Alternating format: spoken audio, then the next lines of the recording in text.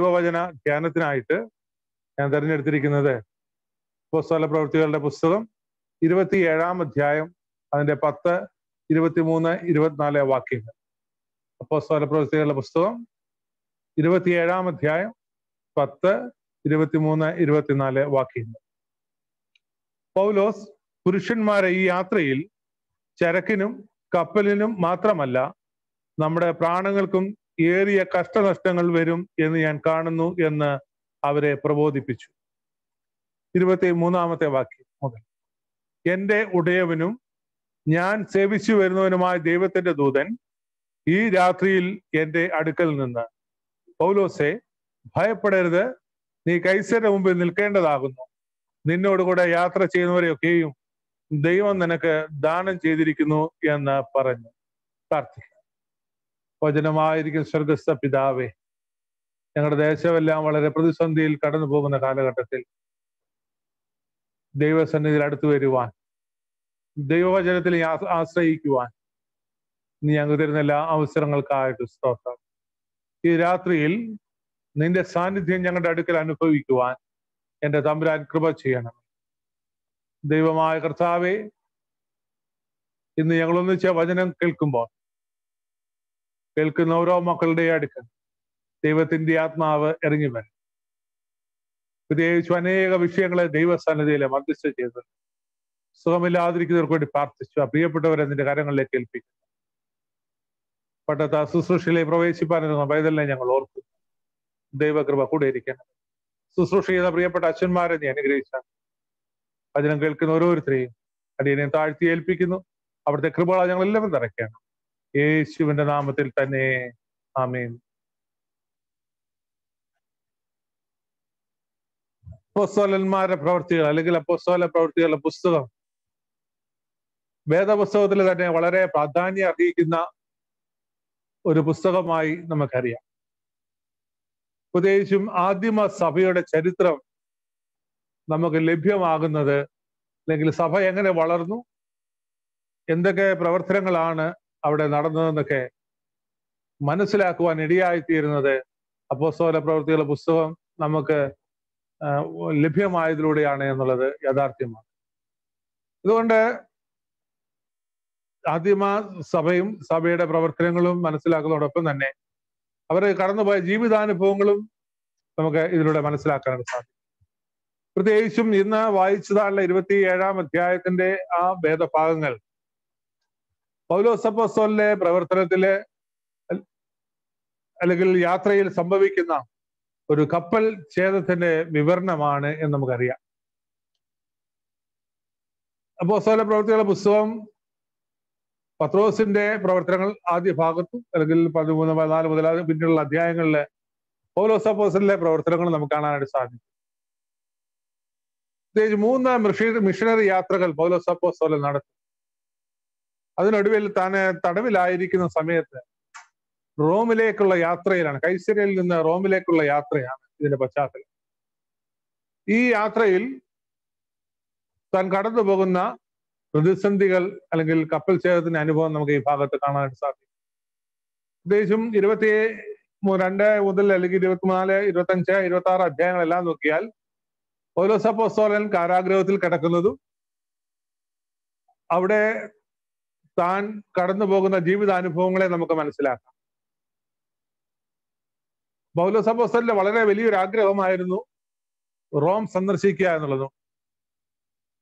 പത്തൊമ്പതാം അധ്യായത്തിന്റെ ഇരുപത്തി ഒന്നാം വാക്യത്തിൽ നോക്കിയാൽ അറിയാം റോമിൽ തനിക്ക് കടന്നു ചെല്ലുവാനുള്ള വളരെ താല്പര്യം ഉണ്ട് എന്നുള്ളത്. എന്നാൽ താൻ കടന്നു പോകുന്നത് ഒരു തടവുകാരനായിട്ടാണ് എന്നുള്ളതാണ് ഏറ്റവും വിശേഷമായിട്ടുള്ള ഒരു സംഗതി. കാരണം യഹൂദന്മാർ അപ്പോസലിനായിട്ട് പൗലോസിന് എതിരായി തീരുന്ന രംഗം നമുക്ക് കാണാനായിട്ട് സാധിക്കും. തൽഫലമായി തടവിൽ ആക്കപ്പെടുകയാണ്. ഏതാണ്ട് രണ്ട് കൊല്ലത്തോളം കൈസരയിൽ താൻ തടവിൽ കിടക്കും. ആ കാലഘട്ടത്തിലെ ദേശാധിപതിമാരായിട്ടുള്ള ഫേലിക്സിന്റെ മുമ്പിലും പിന്നീട് വെസ്തോസിന്റെ മുമ്പിലും താൻ ഹാജരാക്കപ്പെടുന്നുണ്ട്. പൗലോസിന് എതിരെ വാദമുഖങ്ങൾ ഉയർത്തുന്ന യഹൂദരെ നമുക്ക് കാണാൻ സാധിക്കും. മഹാപുരോഹിതൻ വരെ അതിന് മുൻകൈ എടുക്കുന്നതായിട്ടാണ് കാണുന്നത്. ഇരുപത്തിനാലാം അധ്യായത്തിൽ നോക്കുകയാണെങ്കിൽ അതിന്റെ ഒന്ന് മുതലുള്ള വാക്യങ്ങൾ നോക്കുമ്പോൾ അഞ്ചു നാൾ കഴിഞ്ഞ ശേഷം മഹാപുരോഹിതനായ അനന്യാസ് മൂപ്പന്മാരോടും തെർത്തുല്യോസ് എന്ന ഒരു വ്യവഹാരജ്ഞനോടും കൂടി വന്ന് പൗലോസിന്റെ നേരെ ദേശാധിപതിയുടെ മുമ്പാകെ അന്യായം ബോധിപ്പിച്ചു. അവനെ വിളിച്ചാറെ തെർത്തുല്യോസ് അന്യായം വിവരിച്ച് പറഞ്ഞത് എന്തെന്നാൽ അങ്ങനെ താഴോട്ട് കുറെ കാര്യങ്ങൾ വിവരിക്കുന്നുണ്ട്. എന്റെ അവസാനത്തിൽ വരുമ്പോൾ പറയുന്നത് ഈ പുരുഷൻ ഒരു ബാധയും ലോകത്തിലുള്ള സകല യഹൂദന്മാരുടെ ഇടയിൽ കലഹമുണ്ടാക്കുന്നവനും നസ്രായ മതത്തിന് മുമ്പനും എന്ന് ഞങ്ങൾ കണ്ടിരിക്കുന്നു. അവൻ ദേവാലയം തീണ്ടിപ്പാനും ശ്രമിച്ചു. മൂന്ന് കാര്യങ്ങൾ അവിടെ പറയാണ്. യഹൂദന്മാരുടെ ഇടയിൽ കലഹമുണ്ടാക്കുന്നവനാണ് പൗലോസ്. അവനൊരു ബാധയാണെന്നാണ് പറയുന്നത്. ദൈവാത്മാ പ്രേരിതരായി ദൈവാത്മാവിനാൽ പിടിക്കപ്പെട്ട് മുൻപോട്ട് പോകുന്ന പൗലോസിനെ കുറിച്ചാണ് ഇത് പറയുന്നത് ഓർക്കുക. നസ്രായ മതത്തിന്റെ മുമ്പനാണ് എന്ന് പറയുന്നു. നമ്മൾ ഇന്നിപ്പോൾ പറയുമ്പോൾ അത് ഇഷ്ടമാണ് നല്ലത് ഞാൻ പള്ളിയിലെ മുമ്പിൽ നിൽക്കുന്ന ആളാണെന്ന് പറയുന്നത് നമുക്ക് നല്ല ഇഷ്ടമുള്ള കാര്യമാണ്. പിന്നീട് പറയുന്നത് ദേവാലയം തീണ്ടിക്കുന്ന ഇരുപത്തിനാലാം അധ്യായത്തിന്റെ അഞ്ചാമത്തെ വാക്കിൽ വരുമ്പോൾ അവിടെ കാണാം. എന്ന് പറയുമ്പോൾ യഹൂദ അവരുടെ ആചാര മര്യാദകൾക്കെതിരെ അല്ലെങ്കിൽ അതിനെ അശുദ്ധി ശുദ്ധിയില്ലാത്തതാക്കി തീർത്ത അനുഭവത്തെ കുറിച്ചും പറയുന്നതായിട്ട് നമുക്ക് അവിടെ കാണാനായിട്ട് സാധിക്കും. അത് മാത്രമല്ല ഈ ദേശാധിപതികൾ പൗലോസിനെ കേൾക്കുവാനായിട്ട് ശ്രമിക്കുന്ന ചിത്രം നമുക്ക് കാണാനായിട്ട് സാധിക്കും. തന്റെ ഭാര്യയുമായിട്ട് വന്ന് ഫേലിക്സ് ദുസ്രലയുമായി വന്ന് പൗലോസിന്റെ പ്രസംഗം കേൾക്കുന്നുണ്ട്. അത് വായിച്ചാൽ വളരെ രസകരമായിട്ടുള്ള കാര്യമാണ് അവിടെ പറഞ്ഞിരിക്കുന്നത്. പൗലോസ് അപ്പോസ്തലൻ പറയുന്നത് കേട്ടിട്ട് ഇരുപത്തിനാലാം അധ്യായത്തിന്റെ ഇരുപത്തിനാലാമത്തെ വാക്യം.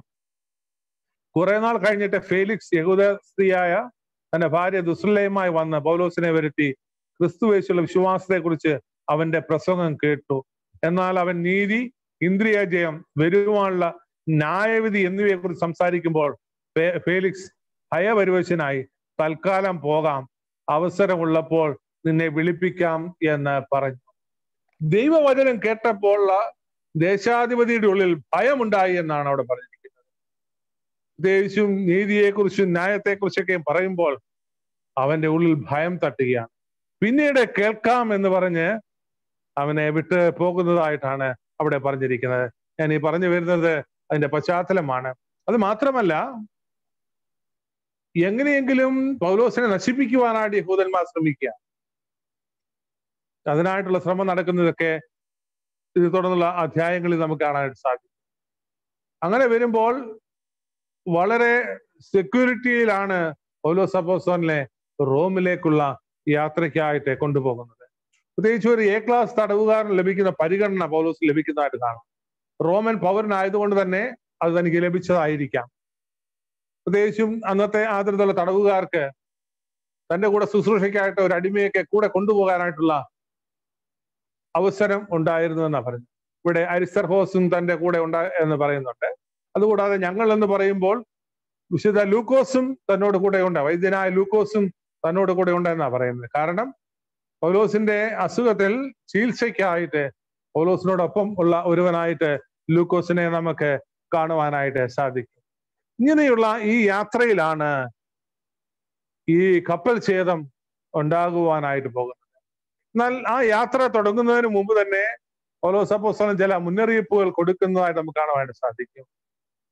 ഇവിടെ ഒന്നാമത്തെ വാക്യത്തിൽ വരുമ്പോൾ ഞങ്ങൾ കപ്പൽ കയറി ഇത്യോയിലേക്ക് പോകണമെന്ന് കൽപ്പനയായപ്പോൾ പൗലോസിനെയും മറ്റു ചില യഹു തടവുകാരെയും ഒഗസ്തി പട്ടാളത്തിലെ ശതാധിപനായ യൂലിയോസിനെ ഏൽപ്പിച്ചു. ഒഗസ്ത്യ പട്ടാളം ഒരു വാക്ക് അതിനെക്കുറിച്ച് പറഞ്ഞു പോകുന്നത് പ്രത്യേകിച്ചും ചക്രവർത്തിക്കും പ്രവിശ്യകളും തമ്മിലുള്ള ബന്ധം പരിരക്ഷിക്കുന്നതിന് ചുമതലപ്പെട്ടവരാണ് ഒഗസ്ത്യ പട്ടാളം എന്ന് നമുക്ക് കാണാൻ സാധിക്കും. വളരെ പ്രാഗൽഭ്യമുള്ള നമ്മൾ ഇന്നത്തെ ഇതിൽ പറഞ്ഞാൽ ഒരു ബ്ലാക്ക് ക്യാറ്റ് എന്നൊക്കെ പറഞ്ഞ പോലെ ഏറ്റവും മിടുക്കരായിട്ടുള്ള ഉദ്യോഗസ്ഥരെ ചേർത്താണ് ഈ സേനാ വിഭാഗം രൂപീകരിച്ചിരിക്കുന്നത് എന്നാണ് പണ്ഡിതന്മാർ പറയുന്നത്. അങ്ങനെ വരുമ്പോൾ അത്രമാത്രം കരുതലിലും മിടുക്കരായിട്ടുള്ള പട്ടാളക്കാരെ ഏൽപ്പിച്ചാണ് പൗലോസ് അപ്പോസോനെ റോമിലേക്ക് അയക്കുന്നത് എന്ന് നമുക്ക് കാണാനായിട്ട് സാധിക്കും. റോമിലേക്ക് അയക്കുവാനായിട്ടുള്ള ഒരു കാരണമുണ്ട്. നമ്മൾ ഇരുപത്തി അഞ്ചാം അധ്യായം നോക്കുകയാണെങ്കിൽ ഇപ്പൊ എല്ലാ വാക്യങ്ങളും വായിക്കാൻ പോയാൽ നമ്മുടെ സമയത്ത് തീരത്തില്ല എന്നുള്ളൊരു പ്രയാസമുണ്ട്. ഒമ്പതും പന്ത്രണ്ട് വാക്യങ്ങളൊക്കെ വായിക്കുമ്പോൾ കൈസരെ അഭയം ചൊല്ലുന്നതായിട്ട് കാണാം. യെരുശലേമിൽ കൊണ്ടുപോയി വിസ്തരിക്കാമെന്ന് പറയുമ്പോൾ അത് തനിക്ക് കുഴപ്പം ഭവിക്കുമെന്ന് മനസ്സിലാക്കിയ പൗലോസ് അപ്പോസ്തോലൻ റോമിൽ കൈസരെ അഭയം ചൊല്ലുക ഒരു റോമൻ പൗരൻ കൈസരെ അഭയം ചൊല്ലിയാൽ കൈസറിന്റെ അടുക്കലല്ലാതെ അവർക്ക് വിസ്തരിക്കുവാനായിട്ട് പറ്റത്തില്ല. അങ്ങനെ വരുമ്പോൾ അതിന് വിരുദ്ധമായിട്ട് ആരെങ്കിലും ചെയ്താൽ ആ ഉദ്യോഗസ്ഥൻ ശിക്ഷിക്കപ്പെടും. അതുകൊണ്ട് വളരെ ബന്ധവസ്ഥായിട്ട് ഒഗസ്ത്യ പട്ടാളത്തിന്റെ ചുമതലയിലാണ് പൗലോസ് അപ്പോസ്തോലിനെ റോമിലേക്ക് അയക്കുന്നത് എന്ന് നമുക്ക് കാണാനായിട്ട് സാധിക്കും. അങ്ങനെ അവരെ യാത്ര തുടങ്ങുന്നു.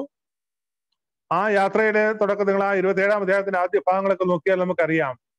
ആ അങ്ങനെ ഞങ്ങൾ ആസിയ പറ്റി ഒടുവാനുള്ള അദ്രമുത്യ കപ്പൽ കയറി നീക്കി തെസ്ലോനിക്കയിൽ നിന്നുള്ള മക്കധോനിക്കാരനായ അരിസ്രോസ് ഞങ്ങളോട് കൂടി ഉണ്ടായിരുന്നു. നാലാമത്തെ വാക്യം അവിടെ നിന്ന് ഞങ്ങൾ നീക്കി കാറ്റ് പ്രതികൂലമായ കുപ്രോസ് ദ്വീപിന്റെ മറ പറ്റി ഓടി. പ്രത്യേകിച്ച് കാറ്റിനെ ആശ്രയിച്ചുള്ള കപ്പൽ യാത്രയായിരുന്നല്ലോ അക്കാലങ്ങൾ ഇന്നത്തെ പോലെ ആധുനിക സൗകര്യങ്ങളൊന്നും തന്നെ ഇല്ല എന്നുള്ളത് നമ്മൾ ഓർത്തുകൊള്ളണം. അപ്പോൾ കാറ്റ് എപ്രകാരം വീശുന്നു? അതനുസരിച്ച് കാറ്റിന്റെ മറയിലാണ് ഇവരുടെ യാത്ര. അന്ന് വടക്ക് നോക്കി യന്ത്രം പോലും അവരുടെ കൈവശം ഇല്ലായിരുന്നു എന്നാണ് ആ കാലഘട്ടത്തെ കുറിച്ച് പറയുന്നത്. അതുകൊണ്ട് ഇവിടെ മറ എന്ന് പറയുന്നത് കിഴക്കും വടക്കു വശവും അത്രയെന്നാണ് പറയുന്നത്. അത് കഴിഞ്ഞ് ഏഴാമത്തെ വാക്യത്തിലേക്ക് വരുമ്പോൾ ഞങ്ങൾ ബഹുദിവസം പതുക്കെ ഓടി. പീതോസ് തൂക്കിൽ പ്രയാസത്തോടെ എത്തി. കാറ്റ് സമ്മതിക്കായാൽ ക്രേത്താദ്വീപിന്റെ മറപറ്റി ശൽമോനയ്ക്ക് നേരെ ഓടി. കരപറ്റി പ്രയാസത്തോടെ ലാസയ്യ പട്ടണത്തിന്റെ സമീപത്ത് ശുഭതുറവ് എന്ന പേരുള്ള സ്ഥലത്ത് എത്തി എന്നാ പറയുന്നത്. എന്ന് പറഞ്ഞാൽ ഈ കാറ്റിന്റെ പ്രതിസന്ധി മൂലം അല്ലെങ്കിൽ പ്രതികൂലമായതുകൊണ്ട് അവർ യാത്രയിൽ തടസ്സം നേരിടുകയാണ്. ഇവിടെ കാറ്റ എന്ന് പറയുന്നത് പടിഞ്ഞാറൻ കാറ്റോ വടക്ക് പടിഞ്ഞാറൻ കാറ്റോ എന്നാണ് പണ്ഡിതന്മാർ ഇതിനെക്കുറിച്ച് പറയുന്നത്. ഞാൻ പറഞ്ഞല്ലോ ഇന്നത്തെ പോലെയുള്ള ക്രമീകരണങ്ങളൊന്നും ഇല്ലാതിരിക്കുന്ന ദിവസങ്ങൾ അല്ല സമയത്താണ് ഈ യാത്ര എന്നുള്ളത് നമ്മൾ ഓർക്കണം. ചിലപ്പോൾ സൂര്യനെ പോലും കാണുവാനായിട്ട് സാധിക്കത്തില്ല. സൂര്യനെ കണ്ടില്ലെങ്കിൽ ദിക്ക് നോക്കി അവർക്ക് യാത്ര ചെയ്യുവാനായിട്ട് സാധിക്കത്തില്ല. ഇരുപത്തിയേഴാം അധ്യായത്തിന്റെ ഇരുപതാമത്തെ വാക്യം നോക്കുകയാണെങ്കിൽ അവിടെ നമുക്ക് കാണാൻ സാധിക്കും. വളരെ നാളായിട്ട് സൂര്യനെയോ നക്ഷത്രങ്ങളെ കാണായികയാലും വല്ലാത്ത കൊടുങ്കാറ്റടിച്ചുകൊണ്ടിരിക്കുക ഞങ്ങൾ രക്ഷപ്പെടുന്ന ആശയൊക്കെയും മറ്റുപോയി. വളരെ നാളായിട്ട് സൂര്യനെ കാണുന്നില്ല എന്ന് പറയും. എന്ന് പറയുമ്പോൾ ദിവസങ്ങളോളം സൂര്യനെ കാണുന്നില്ല. ശരിക്കും ഒരു അന്ധകാരത്തിന്റെ അനുഭവം എന്ന് പറയാം. ഈ യാത്രയിലാണ് പൗലോസ് അപ്പോസ്തലൻ ചില കാര്യങ്ങൾ പറയുന്നത്. ഞാൻ എന്റെ പശ്ചാത്തലമാണ് പറയുന്നത്. ഒന്ന് നമ്മളിവിടെ കാണുന്നത് പത്താം ഭാഗത്തിൽ വായിച്ചത് ഇങ്ങനെയാണ്. ഈ പൗലോസ് പുരുഷന്മാരെ ഈ യാത്രയിൽ ചരക്കിനും കപ്പലിനും മാത്രമല്ല നമ്മുടെ പ്രാണങ്ങൾക്കും ഏറിയ കഷ്ടനഷ്ടങ്ങൾ വരുമെന്ന് ഞാൻ കാണുന്നു എന്ന് അവരെ പ്രബോധിപ്പിച്ചു. ഈ യാത്ര തുടങ്ങുന്നതിന് മുമ്പ് പൗലോസ് അപ്പോസ്തോലൻ അവരെ പ്രബോധിപ്പിക്കുകയാണ്. ഈ യാത്രയിൽ ഈ ഏറിയ പ്രശ്നങ്ങൾ ഉണ്ടാകും. നമുക്കറിയാം ഇന്ന് നമ്മളൊരു ജീവിത യാത്രയിലാണ് ഈ യാത്രയിൽ അനേക പ്രതിസന്ധികളോടെ നമ്മൾ കടന്നു പോകുന്ന ആൾക്കാരാണ്. ഇവിടെ ഒരു മുന്നറിയിപ്പ് കൊടുക്കുക പ്രശ്നങ്ങൾ ഇല്ലാത്ത ഒരു മേഖലയുണ്ടെന്ന് നമുക്കൊന്ന് പറയാനായിട്ട് സാധിക്കുന്നില്ല ഈ കഴിഞ്ഞ ദിവസം ഹോസ്കോട്ട് അഡ്മിഷൻ കിട്ടിയതായുള്ള എന്റെ പള്ളിയിലെ ഒരു കുഞ്ഞ് ജാസ്മിൻ എന്ന് പറയും. ബി എസ് സി നഴ്സിംഗിന് അവൾക്ക് അഡ്മിഷൻ കിട്ടിയതാണ്. അവൾ പോകുവാനായിട്ട് അതിന് മുന്നോടിയായിട്ട് കോവിഡ് ടെസ്റ്റ് ചെയ്യണമായിരുന്നു. അവൾ ആശുപത്രിയിൽ ചെന്ന് ടെസ്റ്റ് ചെയ്തപ്പോൾ അവളെ പോസിറ്റീവ് പെട്ടെന്ന് പോകേണ്ട കുഞ്ഞിനെ സംബന്ധിച്ച് വളരെ ഭയം വേദനയാണ്. വീട്ടിലെ അതിന്റെ ഇളയ കൊച്ചു കൊച്ചുകൊണ്ട് അതൊക്കെ പത്ത് വയസ്സ് താഴെയുള്ളവരുണ്ട്. ഇവളെ കൊണ്ടുപോകാനായിട്ട് ഇവളുടെ മാവനും മാവിയും വന്നിട്ടുണ്ട്. ഡൽഹിയിലായിരുന്നു. അവരാണ് അവിടെ ഹോസ്പോട്ട് കൊണ്ടുപോകുന്നത്. വീട്ടിൽ അത്ര സൗകര്യമില്ല. മുത്തൂറ്റ് ആശുപത്രിയിൽ കുറച്ച് ദിവസങ്ങൾ കിടക്കേണ്ടതായിട്ടുണ്ട്. അല്ലെങ്കിൽ അവിടെ അഡ്മിറ്റായി അവിടുത്തെ ക്വാറന്റൈൻ സെന്ററിലായി ഈ കഴിഞ്ഞ ദിവസം യാത്ര പോയി ഇന്ന് അവിടെ എത്തിച്ചതാണ് അപ്പൊ നമ്മൾ വിചാരിക്കുന്നത് പോലെ അല്ല പലപ്പോഴും കാര്യങ്ങൾ മുൻപോട്ട് പോകുന്നത്. ഏത് മേഖലയാണ് വിദ്യാഭ്യാസമാകട്ടെ ജോലിയാകട്ടെ കഴിഞ്ഞ ദിവസം ഒരാൾ എന്നെ വിളിക്കുകയായിരുന്നു അച്ഛാ ഏഴു മാസമായി ശമ്പളം കിട്ടിയിട്ട് പ്രതിസന്ധി പ്രശ്നങ്ങൾ ബിസിനസ് വേറൊരാൾ പറഞ്ഞു നേരെ പകുതിയായി. അങ്ങനെ ജീവിതത്തിന്റെ ഏത് മേഖലകളിൽ എടുത്തു കഴിഞ്ഞാലും ഇന്ന് പലപ്പോഴും നമ്മൾ ഏറിയ പ്രശ്നങ്ങളുടെ മധ്യത്തിലാണ്. ഇവിടെയാണ് പറയുന്നത് ഓരോ സപ്പോസ്തോലം പറയാം ഈ യാത്രയിൽ ഏറിയ പ്രശ്നങ്ങൾ നമുക്ക് ഉണ്ടാകും. മുന്നറിയിപ്പ് തരികയാണ്. നമുക്കറിയാം നോഹ പെട്ടകം പണിയുന്നത്. അന്ന് മഴയൊന്നുമില്ല വെള്ളപ്പൊക്കം ഒന്നുമില്ല. കണ്ടു നിന്നവർ എന്റെ ചിന്ത നോഹയെ പറഞ്ഞു നോഹയോട് പറഞ്ഞു കാണും നിനക്ക് നല്ല സുഖമില്ല എന്ന്. എന്നാൽ അവൻ വിളിച്ചു പറഞ്ഞു ഇതൊരു പ്രശ്നം വരാനായിട്ട് പോകുന്നു അതിന്റെ മുന്നോടിയാ.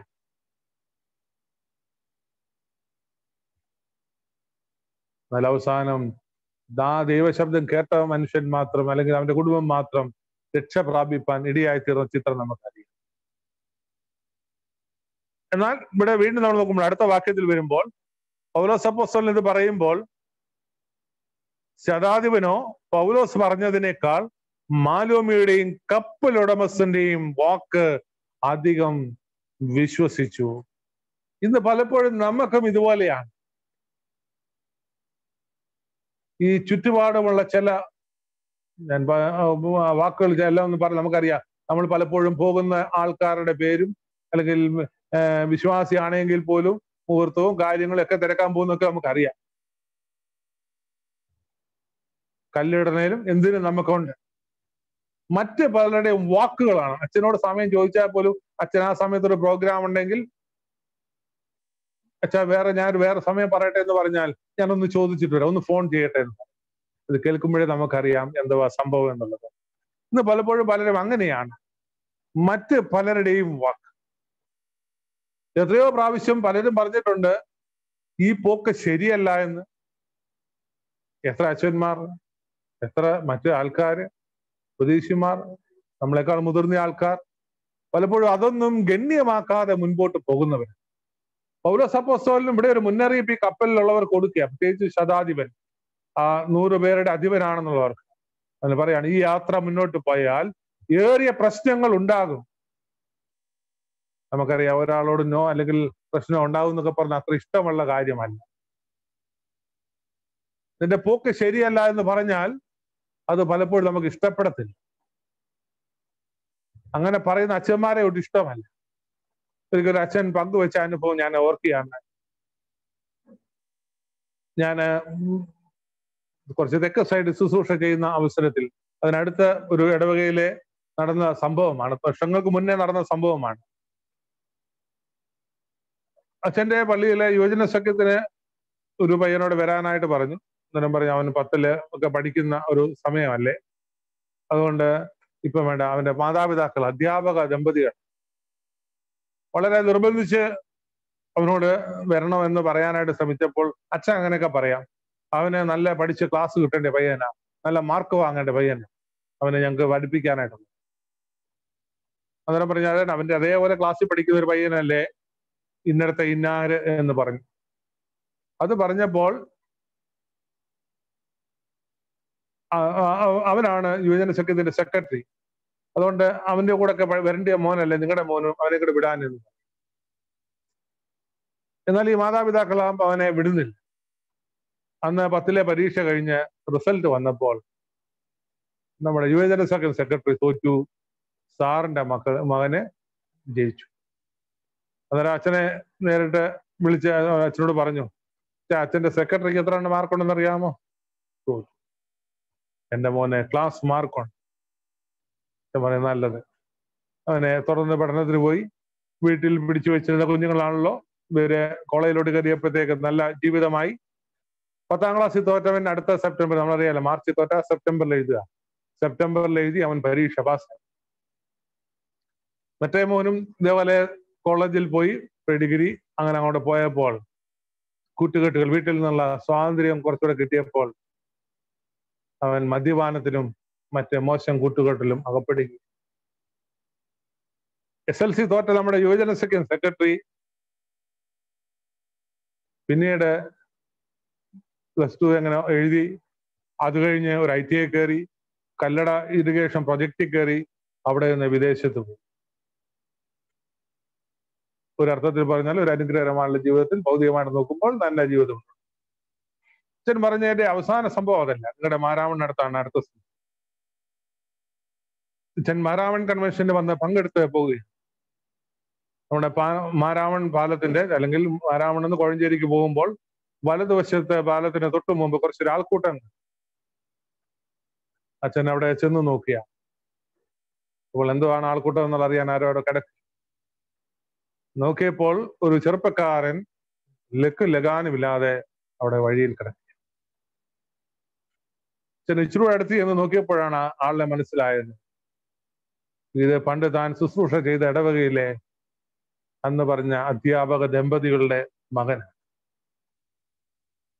തികഞ്ഞ മധ്യവാനിയായി ഈ ലോകപ്രകാരം ജീവിതം മുൻപോട്ട് കൊണ്ടുപോയി. വെളിവില്ലാതെ അവനും മാറാമൺ കൺവെൻഷന് വന്നതാ.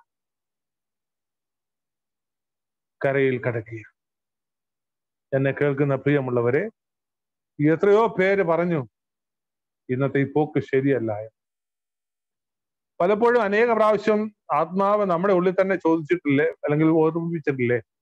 ഇന്നത്തെ ഈ പോക്ക് ശരിയല്ല എന്നുള്ളത്. അതുകൊണ്ട് എന്നെ കേൾക്കുന്ന പ്രിയമുള്ളവരെ ദൈവം തമ്പുരാൻ നമ്മളെ ഓർമ്മിപ്പിക്കുമ്പോൾ ഈ യാത്രയിൽ ഏറിയ പ്രശ്നങ്ങൾ ഉണ്ടാകും എന്ന് പറയുമ്പോൾ അത് നാളത്തേക്ക് മാറ്റിവെക്കുവാനായിട്ട് പാടില്ല. അത് ഇന്ന് തിരുത്തേണ്ട ഇന്ന് തിരുത്തണം നമുക്കറിയാം ഫറവോൻ ദേശത്ത് ഈ ബാധകൾ വരുമ്പോൾ വളരെ രസകരമായിട്ട് എനിക്ക് തോന്നിയ ഒരു സംഭവമുണ്ട്. തവള വരുന്നതായുള്ള സംഭവം. പുറപ്പാട് പുസ്തകം എട്ടാം അധ്യായത്തിന്റെ എട്ട് മുതലുള്ള വാക്യങ്ങളാണ്.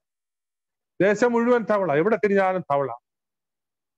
മോശയോട് പറയുന്നുണ്ട് നീ തവള നീങ്ങാനായിട്ട് പ്രാർത്ഥിക്കണം പക്ഷെ പറഞ്ഞ് പ്രാർത്ഥിക്ക. നീ നീ പ്രാർത്ഥിച്ച് കഴിയുമ്പോൾ അല്ലെങ്കിൽ എല്ലാ നദിയിലെല്ലാം തിരിച്ച് ആ പൂർവസ്ഥാനത്തേക്ക് തവളകൾ പോകുമല്ലോ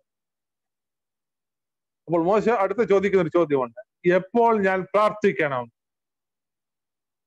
അവിടെയാണ്. അന്നേരം ഭർമ്മൻ പറയാ ഇന്ന് പ്രാർത്ഥിക്കേണ്ടത് നാളെ പ്രാർത്ഥിക്കാം. എന്നാ പ്രാർത്ഥിക്കേണ്ടത്? ഇന്ന് വേണ്ട നാളെ. പലപ്പോഴും നമ്മൾ നാളത്തേക്ക് മാറ്റി വെച്ചതായിട്ടുള്ള ആൾക്കാർ. അതുകൊണ്ടാണ് അവിടെ തൊട്ട് താഴോട്ട് വരുമ്പോൾ വാക്യങ്ങൾ കാണുന്നത് അതിന്റെ പതിമൂന്നാമത്തെ വാക്യത്തിലോട്ടൊക്കെ വരുമ്പോഴത്തേക്ക് കാണാനായിട്ട് സാധിക്കും. തെക്കൻ കാറ്റ് മന്ദമായി ഊതുകിയാൽ താല്പര്യം സാധിച്ചു എന്ന് തോന്നി. അവർ അവിടെ നിന്ന് നങ്കൂരമെടുത്ത് ക്രേത്താദ്വീപിന്റെ മറപറ്റി ഓടി. അപ്പോൾ എല്ലാം ഭംഗിയാണ്. ഓരോ സപ്പോസോലം മണ്ടൻ ചുമ്മാതെ ഇങ്ങനെ പറഞ്ഞു. ഈ പോക്ക് പോയാൽ കുഴപ്പമാണെന്നൊക്കെ പറഞ്ഞിട്ടും ഇപ്പോൾ കാറ്റ് അനുകൂലമാണ്. നമ്മൾ പലപ്പോഴും പറയും എന്റെ ചുറ്റുപാട് എന്റെ സാഹചര്യങ്ങളെല്ലാം അനുകൂലമാണ്. സമ്പത്തുണ്ട് ആരോഗ്യമുണ്ട് സൗന്ദര്യമുണ്ട് മറ്റു പലതും പലതുമുണ്ട്. അന്നേരം നമുക്ക് പ്രാർത്ഥന വേണ്ട മറ്റു വേണ്ട പലതും വേണ്ട എന്നുള്ളത്. പലപ്പോഴും ഭൗതികമായുള്ള ഇത് കൂടുമ്പോൾ ദൈവത്തെ മറക്കും. നമ്മുടെ കാര്യങ്ങളെല്ലാം ഞാൻ വിചാരിക്കുന്ന പരിധി പോകുന്നതാണ് എന്നുള്ളത്. എന്നെ അച്ഛൻ സ്വാഗതം ചെയ്തപ്പോൾ പറഞ്ഞല്ലോ ഞാൻ കോഴിക്കോട് പുതുപ്പാടിയിലാണ് ആയിരുന്നു. ഞാൻ പുതുപ്പാടിക്കാരൻ തന്നെ എവിടുത്തുകാരനാണെന്ന് ചോദിച്ചാൽ എനിക്കിപ്പോൾ സ്വന്തം അഡ്രസ്സ് ഇല്ലാത്ത ഒരാളാണ്. കാരണം ഞാൻ അഞ്ചാം ക്ലാസ് വരെ കടമേട്ട ശാലയം പള്ളിക്കാരൻ അവിടെ ഞാൻ ജനിച്ചു വളർന്നു. അവിടെ നിന്ന് മദ്രാസിൽ പോയി. അവിടെ നിന്ന് കോഴിക്കോട് വന്നു. എൺപത്തി ഒൻപതിൽ കോഴിക്കോട് എഴുപത്തി ഒമ്പതിൽ കോഴിക്കോട് വന്നു. എൺപത്തി ഒമ്പതിൽ അവിടെ വിട്ടു. സെമിനാരി പഠനം അതായത്. കഴിഞ്ഞ എട്ട് കൊല്ലം മുന്നേ മുട്ടുമണ്ണിൽ വീട് വാങ്ങി താമസമായി. കുമ്പനാട് ശാലയം പള്ളിയിൽ മെമ്പർഷിപ്പ് അപ്പോൾ ഞാൻ ഇവിടുത്തുകാരനാണെന്ന് ചോദിച്ചു കഴിഞ്ഞാൽ ഞാൻ തന്നെ പറയാൻ പ്രയാസമായിട്ടുള്ളത് ഞാൻ പറഞ്ഞു വന്ന അതെല്ലാം. അവിടെ എന്റെ വീടിനടുത്താണ് മണമേൽ പ്ലാന്റേഷൻ പോത്തൻ സാഹിബ് എന്ന് പറയും. പക്ഷെ നിങ്ങൾ കേട്ടിട്ടുണ്ടായിരിക്കും. ഇവിടെ ധാരാളം ആൾക്കാർ കുടിയേറി പാർത്തിട്ടുള്ള ഒരു സ്ഥലമാണ്. പ്രത്യേകിച്ച് നമ്മുടെ മർത്തവകാരൊക്കെയും കുറെ പേര് അവിടെ ആ കമ്പനിയിൽ ജോലി ചെയ്യുവാനായിട്ട് കടന്നു. അവർ ഓർത്തഡോക്സുകാരാണ്. അവർ അവിടെ ഓർത്തഡോക്സുകാർക്ക് പള്ളി വെച്ച് കൊടുത്തിട്ടുണ്ട്. പള്ളിക്കുള്ള സ്ഥലം കൊടുത്തിട്ടുണ്ട്. അവിടെ ഒരു ബാലഭവനാണ് പുതുപ്പാടി ഓർത്തഡോക്സുകാർ വളരെ പ്രശസ്തമായിട്ടുള്ള ബാലഭവൻ. ആ ബാലഭവൻ തന്നെയാണ് ഏതാണ്ട് ഇരുപത്തഞ്ച് ഏക്കറോളം സ്ഥലമാണ് പൃഥ്വി അപ്പൊ ഇവർക്ക് എത്ര സ്ഥലമുണ്ടെന്ന് ഊഹിക്കാം. ആയിരത്തിൽ അങ്ങനെ അതിനേക്കാൾ അധികം ഏക്കർ സ്ഥലം വരും. ഞാൻ പറഞ്ഞു വരുന്നത് അവരുടെ മകൻ സലീം എന്ന് പറഞ്ഞതായിട്ടുള്ള യൗവനക്കാരൻ ഈ പണത്തിന്റെ എല്ലാം ഇതിൽ വളരെ ഈ ലോകപ്രകാരമുള്ള ജീവിതം മുൻപോട്ട് നയിക്കുക ഇത് വന്നപ്പോൾ അവിടുത്തെ അന്നത്തെ വികാരി അച്ഛൻ. ഇവന്റെ അമ്മയോട് ചെന്ന് പറയുക ഈ മോന്റെ പോക്ക് അത്ര ശരിയല്ല. അപ്പോൾ ആ അമ്മ വികാരി അച്ഛനോട് പറഞ്ഞ ഒരു മറുപടി ഉണ്ട് എന്റെ മകന് ഒരു ദിവസം എത്ര രൂപ ചെലവാക്കാമെന്ന് അച്ഛന് ചിന്തിക്കാമെന്ന് നിങ്ങൾ ഒരു താറാമുട്ട എടുത്ത് ഒരു ത്രാശിന്റെ ഒരു തട്ടിൽ വെക്കുക. മറ്റേ തട്ടിൽ അത്രയും സ്വർണം വെക്കുക. അങ്ങനെ വെച്ചാലും അടുത്തൊരു പത്ത് തലമുറയ്ക്ക് കഴിയാനുള്ള സ്വത്ത് ഞങ്ങൾക്കുണ്ട്. ഞാൻ പറയട്ടെ ഞാൻ എന്റെ തീരെ കൊച്ചിലെയാണ് ഈ സംഭവം. അത് കഴിഞ്ഞ് കുറച്ച് കഴിഞ്ഞ് നാൽപ്പതാമത്തെ വയസ്സിൽ മദ്യപിച്ച് അല്ലെങ്കിൽ ലിവർ സിറോസിസ് ആയി ഈ ലോകം വിട്ട് കടന്നുപോയ ആളുടെ ശവസംസ്കാര ശുശ്രൂഷയിൽ പങ്കെടുത്ത ഒരാളാണ് ഞാൻ. എന്റെ ചെറുപ്പകാലത്ത് ഞാൻ കണ്ടൊരു കാഴ്ച. ആര് നോക്കിയാൽ എന്ത് ചെയ്യാം എല്ലാം അനുകൂലമാണ് പണത്തിന് പണം മറ്റു പലതിനും നമുക്കുണ്ട്. അതുകൊണ്ട് അടുത്ത വാക്യം വളരെ ശ്രദ്ധയോടെ നമ്മൾ കേൾക്കണം. പതിനാലാമത്തെ വാക്യം ഇരുപത്തിയേഴാം അധ്യായത്തിന്റെ പതിനാലാമത്തെ വാക്യം. കുറെ കഴിഞ്ഞിട്ട് അതിന് വിരോധമായി ഈശാനമൂലൻ എന്ന കൊടുങ്കാറ്റ് അടിച്ചു. കപ്പൽ കാറ്റിന്റെ നേരെ നിൽപ്പാൻ കഴിയാതെ വണ്ണം കുടുങ്ങിയാൽ ഞങ്ങൾ കൈവിട്ട് അങ്ങനെ പാറിപ്പോയി ക്ലൗദ എന്ന ചെറിയ ദ്വീപിന്റെ മറപറ്റ ഓടിയിട്ട് പ്രയാസത്തോടെ തോണി കൈവശമാക്കി. അത് വലിച്ചു കയറ്റിയിട്ട് അവർ കപ്പൽ ചുറ്റിക്കെട്ടി മറ്റു ഉറപ്പ് വരുത്തി. പിന്നെ മണൽത്തിട്ടമേൽ അകപ്പെടുമെന്ന് പേടിച്ചു പോയി. ഇറക്കി അങ്ങനെ പാറിപ്പോയി. ഞങ്ങൾ കൊടുങ്കാറ്റിനാൽ അത്യന്തം അലയുകൊണ്ട് പിറ്റേന്നാൾ അവർ ചരക്ക് പുറത്തെ കളഞ്ഞു. തെക്കൻ കാറ്റ് വളരെ ശാന്തമായിരുന്നു. എന്നാൽ നിമിഷ നേരം കൊണ്ട് അത് ഈശാനമൂലനായി മാറ്റപ്പെടുകയാണ്. ഈശാനമൂലൻ എന്നുള്ള ഈ ഉറാഗിലോ എന്നാണ് പഴയ തർജിമ കൊടുത്തിരിക്കുന്നത്. ഏഴായിരത്തി അറുന്നൂറ് അടി അടി ഉയരമുള്ള ഈടാ പർവതത്തിൽ നിന്നും താഴേക്കടിക്കുന്ന ശക്തമായ കാറ്റാണ് ഇത് എന്നാണ് തെക്കൻ കാറ്റ് ഈശാലമൂലനായി തീരാൻ അധിക നേരം വേണ്ട. ഈ നമ്മുടെ ചുറ്റുപാടുകളിലെ സന്ദർഭങ്ങൾ സംഭവങ്ങൾ ഒന്ന് വിലയിരുത്തിയാൽ മതി. കുറച്ചു നാൾ മുമ്പ് നമ്മൾ കണ്ടത് അമേരിക്കയിൽ ഒരു കാട്ടുതീ വന്ന കാലിഫോർണിയയിൽ അഞ്ചു ലക്ഷം പേരെയാ മാറ്റി. ഒരു തീ നിസ്സാരമായ തീയാണ്. അത് പടർന്നു പിടിച്ചപ്പോൾ ലക്ഷക്കണക്കിന് ആൾക്കാർ ജീവനും കൊണ്ട് ഓടുകയാണ്. ഇപ്പോൾ നമ്മൾ പലപ്പോഴും പല മുന്നറിയിപ്പുകൾ വരുന്നുണ്ട്. ഓരോ കാറ്റുകൾക്കൊക്കെ പേരിട്ടിരിക്കുക. ഓക്കി കത്രീന അല്ലെ? നമുക്കറിയാം ഓരോ കാറ്റുകൾ. ഇപ്പോൾ ഈ ദിവസങ്ങളിലുള്ള മഴയ്ക്കും കാരണം സുനാമി സുനാമികൾ നിമിഷ നേരം കൊണ്ട് കടലുള്ളിലോട്ടൊന്ന് വലിയൊന്ന് തിരിച്ചു വരുന്നത് ആ എന്താ രൗദ്രഭാവം കൊണ്ടാണ്. ഒരു പ്രദേശം തന്നെ ഇല്ലാതാകുന്ന ചിത്രമാണ് കാണാൻ സാധിക്കും. അതുകൊണ്ട് ഞാൻ വേഗത്തിൽ മുൻപോട്ട് പോകട്ടെ. സംഗീതക്കാരൻ പറയുന്നത് ഏത് മനുഷ്യനും ഉറച്ചു നിന്നാൽ ഒരു ശ്വാസം അത്രേ എന്നത്. നിൽക്കുന്നു എന്ന് തോന്നുമ്പോഴും വീഴാതിരിപ്പാനായിട്ട് സൂക്ഷിച്ചു കൊള്ളുക. തെക്കൻ കാറ്റ് ചിലപ്പോൾ ഈശാന മൂലനെ മുന്നോടിയാകുവാൻ സാധ്യതയുണ്ട്. ഒരു ഫോൺ കോൾ മതി നമുക്ക്. ഒരു കുലുക്കം മതി. ഒരു കല്ലിൽ തട്ടി വീണാൽ മതി. എന്നെ കേൾക്കുന്ന പ്രിയപ്പെട്ട കപ്പൽക്കാരുടെ പ്രതികരണം നമ്മൾ കണ്ടു. അവർ കാറ്റടിച്ച് മുന്നോട്ട് വല്ലാതെ പോകാൻ പ്രയാസമായപ്പോൾ ഞങ്ങൾ കൊടുങ്കാറ്റിൽ അത്യന്തം മലയെ കൊണ്ട് പിറ്റേന്നാൾ അവർ ചരക്ക് പുറത്ത് കളഞ്ഞു. മൂന്നാം നാൾ അവർ സ്വന്തം കൈയാൽ കപ്പൽ കോട്ടും കോപ്പും കടലിൽ ഇട്ട് കളഞ്ഞു. വളരെ നാളായിട്ട് സൂര്യനെയോ നക്ഷത്രങ്ങളെയോ കാണാതെയും വല്ലാതെ കൊടുങ്കാറ്റ് അടിച്ചുകൊണ്ടിരിക്കുക ഞങ്ങൾ രക്ഷപ്പെടുവാൻ ആശയൊക്കെയും അറ്റുപോയി. പത്രോസപ്പോ പൗലോസപ്പോസ്തലൻ തുടക്കത്തിൽ പറഞ്ഞതാണ് ഈ യാത്രയിൽ ഏറിയ പ്രശ്നങ്ങൾ ഉണ്ടാകും. അവിടെ പറഞ്ഞത് ചരക്കിനും കപ്പലിനും മാത്രമല്ല നമ്മുടെ പ്രാണന് പോലും ഏറിയ കഷ്ടനഷ്ടങ്ങൾ ഞാൻ കാണുന്നു. നിന്റെ ഈ ചരക്ക് വില പിടിച്ചതാ. എത്ര വിലയുള്ളതാ നമ്മൾ ആലോചിച്ചു നോക്കുക ആഴക്കടലിലേക്ക് അതിന്റെ ആഴം എത്രയാണെന്നറിയാം ഇട്ട് കഴിഞ്ഞാൽ അത് നമുക്ക് തിരിച്ചു കിട്ടത്തില്ല. വില പിടിച്ചതാണ്. അത് ഇവിടെ വേണ്ട കടലിന്റെ അഗാധത്തിലേക്ക് ഇട്ടുകൊടുക്കുന്ന ചിത്രമാണ് നമ്മൾ കാണുന്നത്. ഓരോ സപ്പോസനം പറഞ്ഞപ്പോൾ മറ്റുള്ള നല്ല കപ്പലുടമസ്ഥന്റെയും മാലൂമിയുടെയും വാക്ക് വിശ്വസിച്ചതായിട്ടുള്ള ശതാധിപനെയും മറ്റുള്ളവരെയും കാണുന്നത് ഈ പ്രതിസന്ധിയുടെ മധ്യത്തിലാണ് പൗലോസ് അപ്പോസ്തോലൻ ഈ എഴുന്നേറ്റ് നിൽക്കാനായിട്ട് പോകുന്നത്. ഇരുപത്തി ഒന്നാമത്തെ വാക്യത്തിലേക്ക് വരുമ്പോൾ അവൾ വളരെ പട്ടിണി കിടന്ന ശേഷം പൗലോസ് അവരെ നടുവിൽ നിന്നുകൊണ്ട് പറഞ്ഞത് പുരുഷന്മാരെ എന്റെ വാക്കനുസരിച്ച് ക്രേത്തായിൽ നിന്ന് നീക്കാതെയും ഈ കഷ്ടങ്ങൾ നഷ്ടങ്ങൾ സമ്പാദിക്കാതെയും ഇരിക്കേണ്ടതായിരുന്നു. എങ്കിലും ഇപ്പോൾ ധൈര്യത്തോടെ ഇരിപ്പാൻ ഞാൻ നിങ്ങളോട് അപേക്ഷിക്കുന്നു. കപ്പലിനല്ലാതെ നിങ്ങളെല്ലാവരുടെയും പ്രാണ പ്രാണന് ഹാനി വരികയില്ല. ഓർക്കണം പുറത്ത് കൊടുങ്കാറ്റ് സൂര്യനെ കാണാനായിട്ടില്ല. ആകെ ഇളറി ഇളകി മറിയുന്ന കടലിന്റെ മധ്യത്തിലാണ് ഒരു മനുഷ്യൻ നിന്നുകൊണ്ട് പറയുകയാണ് ഈ യാത്രയിൽ നിങ്ങളുടെ പ്രാണന് കുഴപ്പം സംഭവിക്കുവാനായിട്ട് സാധ്യതയില്ല എന്നുള്ളത് ഉറപ്പ് പറയുകയാണ് ചെയ്തത്. എങ്കിലും നിങ്ങളോട് എങ്കിലും ഇപ്പോൾ ധൈര്യത്തോടെ ഇരിപ്പി ഞാൻ നിങ്ങളോട് അപേക്ഷിക്കുന്നു. കപ്പലിനല്ലാതെ നിങ്ങളുടെ ആരുടെയും പ്രാണന് ഹാനി വരികയില്ല. കാരണം ഇരുപത്തി മൂന്നാമത്തെ വാക്യത്തിൽ വളരെ അടിവരയിടേണ്ട വാക്യമാണ് എന്റെ ഉടയവനും ഞാൻ സേവിച്ചു വരുന്നവനുമായ ദൈവത്തിന്റെ ദൂതൻ ഈ രാത്രിയിൽ എന്റെ അടുക്കൽ നിന്നു. പൗലോസെ ഭയപ്പെടരുത്. നീ കൈസര മുമ്പിൽ നിൽക്കേണ്ടതാകുന്നു. നിന്നോട് കൂടെ യാത്ര ചെയ്യുന്നവരെയൊക്കെയും ദൈവം നിനക്ക് ദാനം ചെയ്തിരിക്കുന്നു എന്ന് പറഞ്ഞു. ഒരു സാര നടുവിലാ നിന്നത്. ഭയപ്പാടുള്ള മരണം മാത്രം മുന്നിൽ കണ്ടുകൊണ്ട് നിൽക്കുന്ന ആൾക്കാരെ മുമ്പിലാണ്. കൊടുങ്കാറ്റിന്റെ മധ്യത്തിലാണ് നിന്നത്. എത്ര പേരാണ് ഈ കപ്പലുള്ളത് മുപ്പത്തി ഏഴാമത്തെ വാക്കത്തിൽ ഇരുന്നൂറ്റി എഴുപത്തി ആറ് പേരുണ്ട്. ഇരുന്നൂറ്റി എഴുപത്തി അഞ്ച് പേർ എല്ലാം എടുത്ത് പുറത്തു കളയാണ്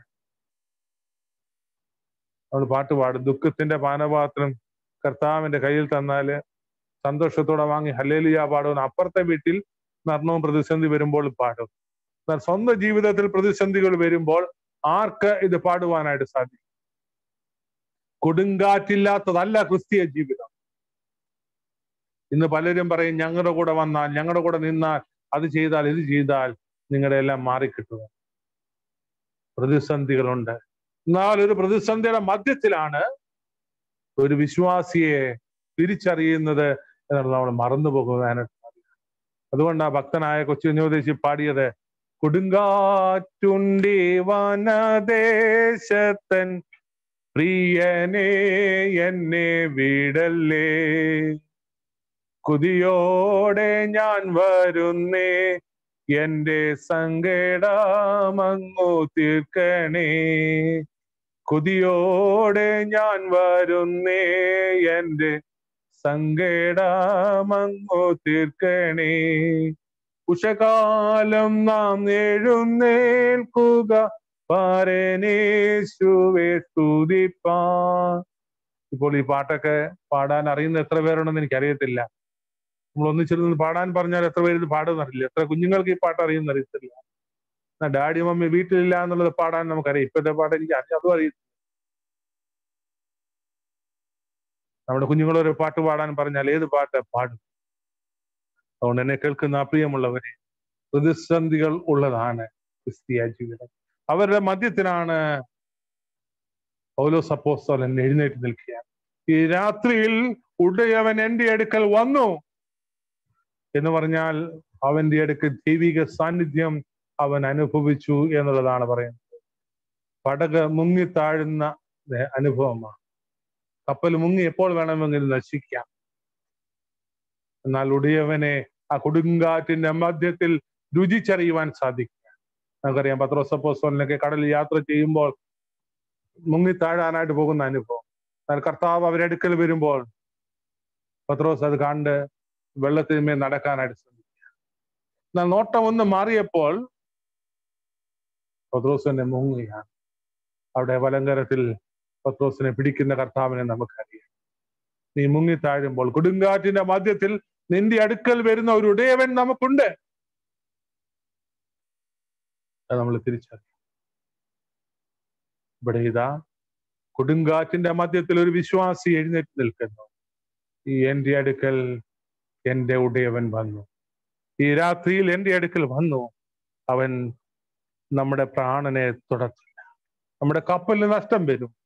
നമ്മുടെ ചരക്കിന് നഷ്ടം വരും. ഇതെല്ലാം വരും. എന്നാൽ പുറത്ത് കൊടുങ്കാറ്റ് വരുമ്പോൾ അകത്ത് ദൈവദൂതന്റെ ശബ്ദം ഇത് അപോലോസിലൂടെ ഇവിടെ കേൾക്കുകയാണ്.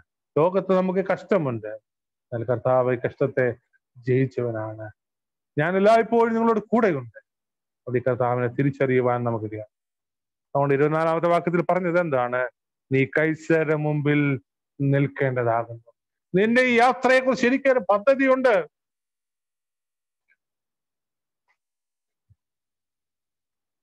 നീ കൈസര മുമ്പിൽ റോമിൽ ചെല്ലേണ്ടതാണ്. റോമിൽ അവന്റെ മുമ്പിൽ നിൽക്കേണ്ടതാണ് എന്നുള്ളതാണ്. ഇത് മാത്രമല്ല ഒന്നുകൂടെ പറയാണ് നിന്നോട് കൂടെ യാത്ര ചെയ്യേണ്ടുന്നവരെ നേടേണ്ടതിന് വേണ്ടിയിട്ടാണ് ഈ പ്രതിസന്ധി. ഇരുന്നൂറ്റി എഴുപത്തിയഞ്ച് പേർ തന്നോട് കൂടെയുണ്ട്. അവരെ കർത്താവിംഗിലേക്ക് നേടുക എന്നുള്ളതായിട്ടുള്ള വലിയ ഉത്തരവാദിത്വമുണ്ട്. എന്നെ വേഗത്തിൽ മുൻപോട്ട് എനിക്ക് തോന്നുന്നു അനുഭവിച്ച സമയം തീരാൻ പോവുകയാണ്. വേഗത്തിൽ മുൻപോട്ട് പോകട്ടെ. മുപ്പത്തി മൂന്നാമത്തെ വാക്യത്തിലേക്ക് വരുമ്പോൾ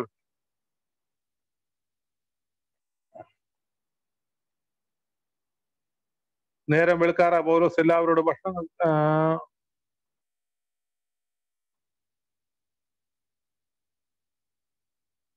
നേരം വെളുക്കാറ് പൗലോസ് എല്ലാവരോടും ഭക്ഷണം കഴിക്കേണ്ടതിന് അപേക്ഷിച്ചു. നിങ്ങളൊന്നും കഴിക്കാതെ കാത്തുകൊണ്ട് പട്ടിണി കിടക്കുന്നത് ഇന്ന് പതിനാലാം ദിവസം ആകുന്നുവല്ലോ.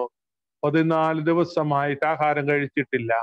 അതുകൊണ്ട് ആഹാരം കഴിക്കണമെന്ന് ഞാൻ നിങ്ങളോട് അപേക്ഷിക്കുന്നു. അത് നിങ്ങളുടെ രക്ഷയ്ക്കുള്ളതല്ലോ. നിങ്ങളിൽ ഒരുത്തിന്റെയും തലയിൽ രോമം പോലും നഷ്ടമാകുകയില്ല നിശ്ചയം എന്ന് പറഞ്ഞു.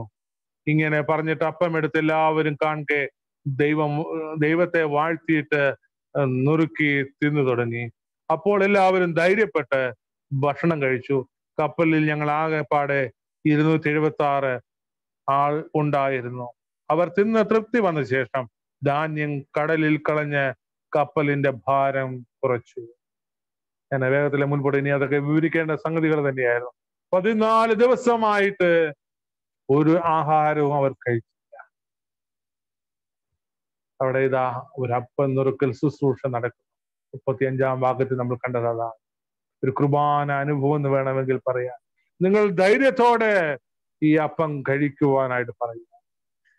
എന്നിട്ട് അടുത്ത വേറെ ഒരു സംഭവം വളരെ രസകരമായിട്ടുള്ള മുപ്പത്തി എട്ടാം ഭാഗത്ത് കാണുന്നത് ബാക്കി വന്ന ആഹാരം മുഴുവൻ അവർ കടലിൽ കളയുകയാണ്. എന്നെ കേൾക്കുന്ന പ്രിയമുള്ളവരെ നമ്മളാണ് എന്ത് ചെയ്തേനെ? വെറും മണ്ടത്തരം എന്ന് പറഞ്ഞേനെ. കാരണം നമ്മൾ ഇന്ന് ഫ്രിഡ്ജ് നിറച്ചും ഇപ്പോൾ കോവിഡ് വരുന്നു എന്ന് കേട്ടപ്പോഴും എല്ലാം കിറ്റും കിട്ടിയ സാധനങ്ങളെല്ലാം വാങ്ങി വീട്ടിൽ കുത്തിവെച്ച ആൾക്കാരാണ്. വേറെ ഒന്നും എവിടെ നിന്ന് കിട്ടാനായിട്ട് സാധ്യതയില്ല. ഉള്ള ആഹാരം കൂടെ എടുത്ത് കടലിൽ ഇട്ട് കളയുകയാണ്. ഇവിടെയാണ് ഒരു വിശ്വാസിയുടെ വിശ്വാസം മറ്റുള്ളവരെ സ്വാധീനിച്ചത് നമുക്ക് കാണാനായിട്ട് സാധിക്കുന്നത്. അപ്പം നുറുക്കി അവരെ ബലപ്പെടുത്തിയിട്ട് പറയുകയാണ് നിങ്ങൾ ബാക്കി കളഞ്ഞു? അബ്രഹാമിന്റെ വിശ്വാസമൊക്കെ പറയും. അപ്പൊ തീയുണ്ട് വിറക് വിറകുണ്ട് ഹോമയാകത്തുള്ള ആട്ടിൻകുട്ടി അവിടെ. തമ്പുരാൻ കരുതുമെന്ന് പറയാൻ പ്രസംഗിക്കാൻ എളുപ്പമാണ്. പലപ്പോഴും ജീവിതത്തിന്റെ അനുഭവത്തിൽ ഇത് നമുക്ക് എങ്ങനെ പറവാനായിട്ട് സാധിക്കും? ഇത് മാത്രമല്ല നാൽപ്പതാമത്തെ വാക്യത്തിൽ വരുമ്പോൾ നാം കാണുന്ന നങ്കൂരമറുത്ത് കടലിൽ വിട്ടു. ചുക്കാന്റെ കെട്ടുമഴിഞ്ഞ് പെരുമ്പായി കാറ്റ് അഭിമുഖമായി കൊടുത്ത് കരയ്ക്ക് നേരെ ഓടി എന്നാ പറയുന്നത്. ഇതിനെ കൺട്രോൾ ചെയ്യേണ്ടതാണ്. ലോകപ്രകാരമുള്ള എന്റെ കൺട്രോൾ കട്ട് ചെയ്തു. നങ്കൂർ ഒരു കപ്പലിനെ നിയന്ത്രിക്കുന്ന ഏറ്റവും പ്രധാനപ്പെട്ട അത് മുറിച്ച് കളക എന്ന് പറയുന്നത് ഒരിക്കലും ഒരു ബുദ്ധിയുള്ളവൻ ചെയ്യുന്ന കാര്യമല്ല എന്നുള്ളത് നമ്മൾ ഓർക്കണം. കൊടുങ്കാറ്റടിക്കുന്നത് അതിന് അഭിമുഖമായിട്ട് പാ കിട്ടുകയാണ്. ഒരിക്കലും പാ നിൽക്കുന്നത് പറപ്പിച്ചുകൊണ്ട് പോകും അതിന് സൈഡ് തിരിച്ച് പിടിച്ചൊക്കെ എങ്ങനെയുമാണ് യാത്ര ചെയ്യേണ്ടത്. ഇവിടെ നാം കാണുന്നത് ഓരോ പറയാണ് നിങ്ങൾ അങ്ങനെ ചെയ്യുവാനായിട്ട് പലപ്പോഴും നമ്മുടെ മാനുഷികമായിട്ടുള്ള ബുദ്ധിക്ക് നിരക്കുന്ന കാര്യമല്ല ദൈവത്തിന്റെ പ്രവർത്തനം. നമ്മൾ പലപ്പോഴും കണക്ക് കൂട്ടും. രണ്ടും രണ്ടും കൂട്ടിയാൽ നാല് നാലിന്റെ കൂടെ ഒന്നുകൂടെ ഉണ്ടെങ്കിൽ അഞ്ചാവും. അത്രയും അവിടുന്ന് ഇവിടുന്നൊക്കെ കിട്ടിയാൽ എന്റെ ഇന്ന കാര്യം നടക്കുമെന്ന്. നമുക്കറിയാം അഞ്ചപ്പം ഒന്നുമില്ലായിരുന്നു. കർത്താവിന്റെ കരങ്ങളിൽ കൊടുത്തപ്പോഴാണ് അതിശയമായത്. ഇന്ന് എന്നെ കേൾക്കുന്ന പ്രിയമുള്ളവരെ ഈ വിശ്വാസമാണ് നമുക്ക് വേണ്ടി. കർത്താവിന്റെ കരങ്ങളിലേക്ക് കൊടുക്കുവാൻ നമുക്ക് സാധിക്കണം. നങ്കൂരം മറച്ച് കടലിൽ വിടുക. ലോകപ്രകാരമുള്ള നിയന്ത്രണങ്ങളെല്ലാം മാറ്റി. പെരുമ്പായ കാറ്റിന് അഭിമുഖമായിട്ട് കെട്ടുകയാണ്. അതിന്റെ അവസാനത്തിലേക്ക് വരുമ്പോൾ ഞാൻ അവസാനത്തെ വാക്യം പറഞ്ഞ് അവസാനിപ്പിക്കാം. കരയ്ക്ക് ഇരുകടൽ കൂടിയ സ്ഥലത്തുമേൽ ചെന്ന് കയറുകയിൽ കപ്പലടിഞ്ഞു. അണിയ ഉറച്ച് ഇളക്കമില്ലാതായി. അമരൻ തിരകളുടെ കേമത്താൽ ഉടഞ്ഞുപോയി തടവുകാരിൽ ആരും നീന്തി ഓടിപ്പോകാതിരിപ്പാൻ അവരെ കൊല്ലണമെന്ന് പടയാളികൾ ആലോചിച്ചു. ശതാധിപനോ പൗലോസിനെ രക്ഷിപ്പാൻ ഇച്ഛിച്ചിട്ട് അവരുടെ താല്പര്യം തടിച്ചു. പടയാളികൾ അവരുടെ ഉത്തരവാദിത്വം നിർവഹിക്കാനായിട്ട് ശ്രമിക്കുക. അവിടെ ഇതാ ദൈവത്തിന്റെ പ്രവർത്തനം. ഇത്രയൊക്കെ സംഭവിച്ചപ്പോൾ മനസ്സിലായി ഇതൊരു ദൈവ ശതാധിപനോട് പ്രവർത്തിക്കുകയാണ്.